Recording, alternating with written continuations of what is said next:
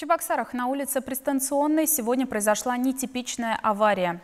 Водитель «Вольво» ехал со стороны газового проезда к проспекту Мира, однако потом выскочил на полосу встречного движения, где врезался в столб. В результате столкновения опора упала на проезжую часть, чудом не на крышу машины. У автомобиля вырвало колесо, а водитель с травмами госпитализирован в больницу. Сейчас выясняются все обстоятельства аварии.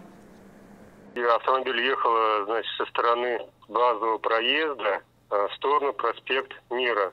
Стало ему плохо, он выехал на встречную полосу и стукнулся с опорой уличного освещения. При этом, естественно, опора упала вместе с проводами, и он потом ушел уже обратно в свою полосу.